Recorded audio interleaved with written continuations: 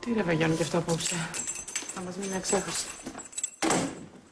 Θυμάσαι πέρυσι, τρέχαμε στα νοσοκομεία για τον Εφελάκη; Το καημένο πάλευε για τη ζωή του. Τουλάχιστον φέτος δεν χαροπαλεύει κανείς. Λίγο το έχεις. Να δούμε του χρόνου που μας περιμένει. Άσε του χρόνου, παραχρόνου. Και πες τι μας περιμένει τώρα.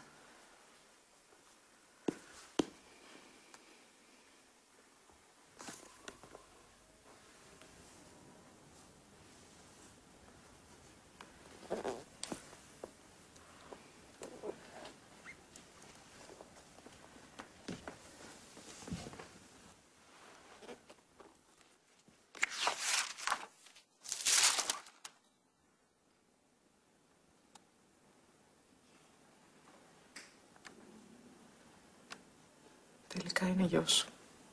Και τελικά και αρχικά και ενδιαμέσως.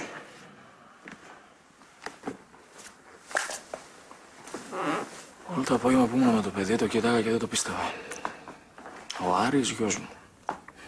Ποιος το πιστεύει; Εγώ που δεν έχω άνθρωπο δικό μου, συγγενή εννοώ, βρίσκομαι ξαφνικά με ένα παιδί.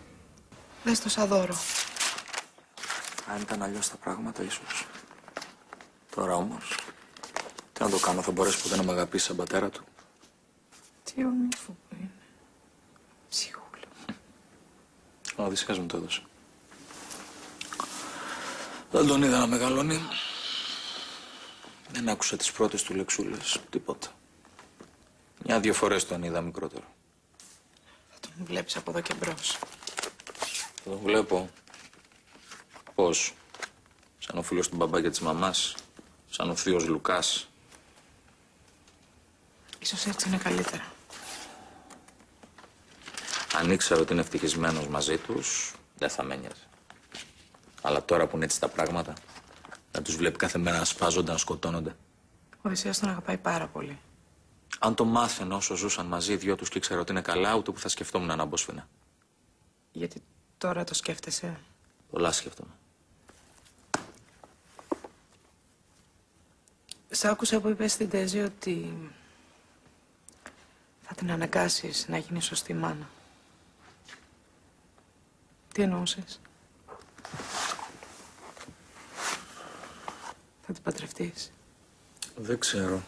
Τίποτα δεν ξέρω. Πιστεύεις πως θα είναι για το καλό του παιδιού; Αν ο γάμος είναι η μόνη σωστή λύση για το καλό του παιδιού, θα τον κάνω. Είναι όμως. Δεν ξέρω, σου λέω. Γιατί να μην μου το έχει πει τότε; Τι να σου έλεγε ρε Λουκά; Ξεχνάς πως χωρίσατε τότε; Δεν το βλέπεις τώρα που έχουν περάσει κάποια χρόνια και είσαι πιο ψύχρεμος; Τότε ήσουν τελείως διαλυμένος. Φαντάζεσαι να είχες μάθει όταν και έγκυος. Ό,τι και να λέμε τώρα, το γεγονός παραμένει ένα. Έχω ένα γιο ώρα. Και σαν πιο λογικός από όλους τους πρέπει να αποφασίσω ποιο είναι το καλύτερο για αυτόν.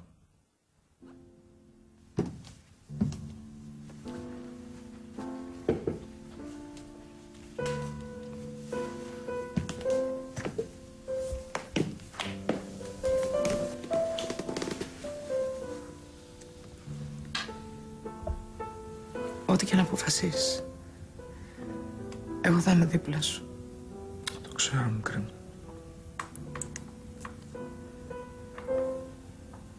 Το ξέρω. Σε παρακαλώ μην πάρεις αποφάσεις εν θερμό.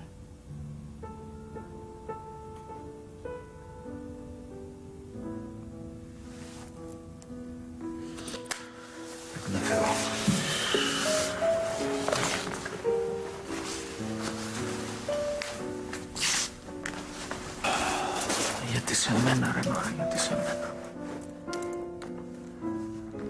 Στενοχωριέσαι ρε Λουκάκο. Δες το από την καλή του πλευρά. Έχεις ένα παιδί. Ε, Ένα παιδί που δεν μπορώ να του πω ότι είμαι ο πατέρας του. δεν μπορώ να σε βλέπω έτσι.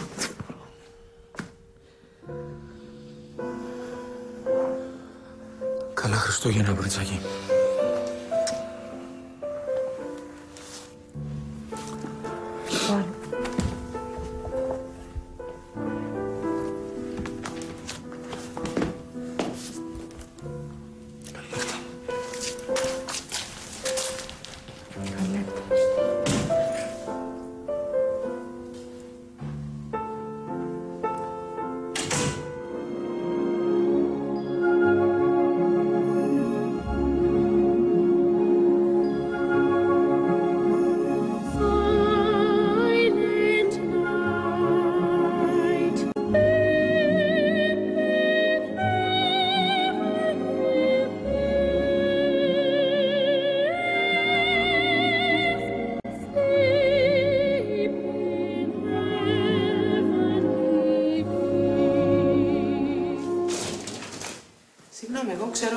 Ότι ο Άγιος Βασίλης έρχεται την πρωτοχρονιά. Τι έγινε με σένα; Ε, Κανονικά δεν σα έλεγα τίποτα ακόμα, αλλά δεν μπορούσα να μην το μοιραστώ με κάποιον. Δαφνούλα, τι έγινε; Έχουμε κονέ με τον Άγιο Βασίλη και μας τα φέρνει νωρίτερα τα δώρα. Ναι. Ρε ηλίθεια γυναίκα, που έλεγες ότι ο Νικόλας δεν σε ξεχνούσε και δεν θα ξαναρχότανε; Α, δεν με βαράς, εντάξει, έκανα λάθος. Δεν σε ξανακούσω και γκρινιάζεις πάλι. Σε έφαγα τέρμα για ανασφάλειες, Δάφνη. Εντάξει, τώρα βεβαιώθηκα πόσο με αγαπάει. Α, πίστηκε επιτέλους ο άπιστος Θωμάς. Πού είναι αυτός; Κοιμάται ακόμα. Τι του έκανες ρε χθες το βράδυ; Άντρε.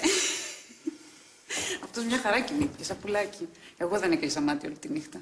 Καθόμουν και τον κοίταζα δίπλα μου και δεν το πίστευα. Κοίτα που ο Νικόλας μας βγήκε απρόβλεπτος. Δεν το το είχα. Παράτησε το όνειρό του για μένα, Νόρα.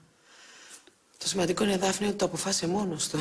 Είναι δική του επιλογή να μείνει. Αυτό είναι το πιο σημαντικό. Να βάλω καφέ; Όχι, έχω πιει. Επιτέλους όμως, ε. Επιτέλους ακούσαμε κάτι ευχάριστο. Ο Λουκάς πώς είναι; Σκατά. Ήταν που ήταν χαμένος στο διάστημα, τώρα που έχει και σοβαρό λόγο. Εσύ; Εγώ, σκατά. Τι θες να σου καλώ τη χαρά σου τώρα; Έλα ρε, λέγε. Άσε με ρε, Δάφνη. Θα την παντρευτεί. Την τέζει. Βλέπεις, είναι μητέρα του παιδιού του. Όχι ότι δεν ξέρει τι μέρος του λόγου είναι. Αλλά για το παιδί ο Λουκάς είναι έτοιμος να θυσιάσει τα πάντα. Τι να πω, τον καταλαβαίνω. Κι εγώ. Θα είμαι δίπλα του. Θα τον βοηθήσω. Ναι, αλλά είναι λύση να την παντρευτεί. Δεν ξέρω ρε Δάφνη, δεν ξέρω, μη με ρωτάς. Αν είναι για το καλό του παιδιού θα το κάνει. Άρε, Νωράκι. Θα το πιείς κι αυτό το ποτήρι. Τόσα έχουν πιει, Δαφνούλα μου. Εδώ θα κολλώσουμε.